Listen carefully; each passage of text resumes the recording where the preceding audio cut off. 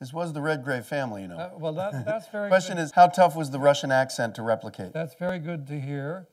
Um, because I, I recently went to a film in New York called Ballet Russe, Oh, sure. and you had a, a, a whole series of 90 year old Russian ballerinas, one after the other, and each and every one seemed to, they were all Russian, and each and every one seemed to have a different accent.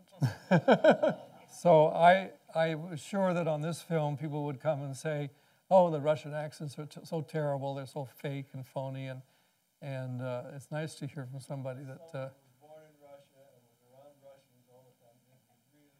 Really? the accent certified by a Russian immigrant. That's good to hear. Good, thank you. But they're all different, aren't they? Yeah. In the movie. They're not quite all the, that's not quite all the same. And I think they, they all had different teachers. Oh, really? Yeah, they had different coaches.